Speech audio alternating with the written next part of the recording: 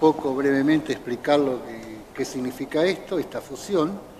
Este, como lo expliqué en una, sección, una sesión eh, tiempo atrás, la necesidad de que este, la, igualdad de condiciones de trabajo que tengan todos los bloques, mayoritarios, minoritarios, con la ventaja de que bloques mayoritarios, este, distintos concejales pueden reemplazar a otros ante esa ausencia.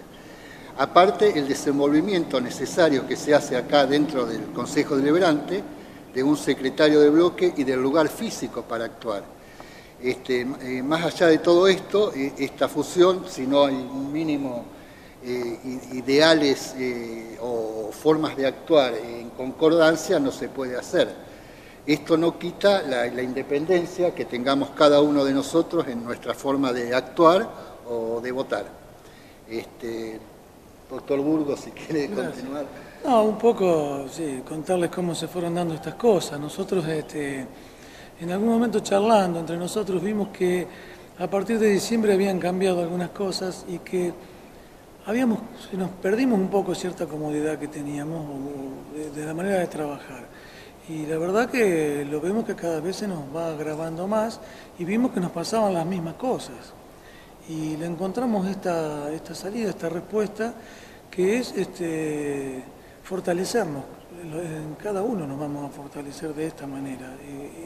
por esto lo hemos hecho. Eso, como dijo Jorge, no significa que no tengamos independencia de criterio, que no tengamos este, matices y miradas diferentes de montones de cosas, donde cada cual respetará al otro en lo que piense.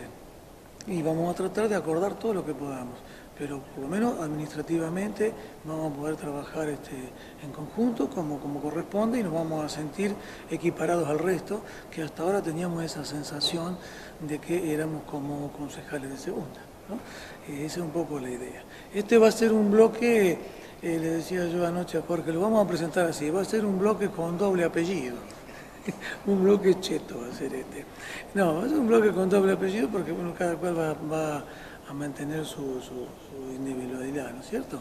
esa, es la idea. Así que esperemos poder este, arrimar nuestras posiciones y seguir y trabajar juntos para el bien de la gente, que es para lo que estamos acá.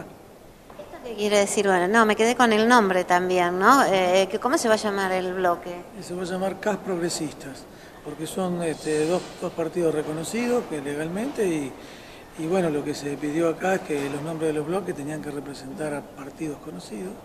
Así que vamos a seguir usando nuestros propios nombres fusionados. Eh, eh, Jorge, ¿cuándo decidieron este acercamiento, esto, unirse? Como bien te dijo Burgos, esto eh, no es una cosa de un día para otra, se fue gestando por los hechos que vinieron pasando desde el momento que nosotros no tuvimos las mismas condiciones que los otros bloques. Entonces yo creo que el, espanto, digamos, te, lleva a, más o menos a un diálogo por el mismo problema que te está pasando.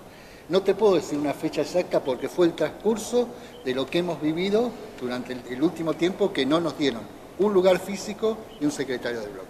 Exactamente. Y en cuanto a la filosofía política, bueno, creo que hay matices. Ustedes saben que tenemos en algunas posiciones a nivel nacional diferimos, no, no lo vemos igual, y a nivel, a nivel local nos acercamos mucho más. Y esto es un espacio local, donde, donde ahí sí vamos a tener unidad de criterio. Espero yo que siga siendo así. A nivel nacional cada cual tendrá la mirada personal que le imprime cada uno y deberán charlar y limar algunas cuestiones, ¿no? Mira, eh, no más de lo que hemos charlado y limando, eh, limado los problemas desde que soy concejal. Lo he hecho no solo con el doctor Burgos, sino con los demás concejales. Te vuelvo a repetir, las circunstancias no son la misma de que mis primeros tiempos de concejal. Me, eh, me veo obligado, o nos vemos obligados, a tomar esta actitud y te vuelvo a repetir, tiene que haber un, cierta, un cierto concordancia en ciertas cosas, porque si no esto no es posible. Bueno.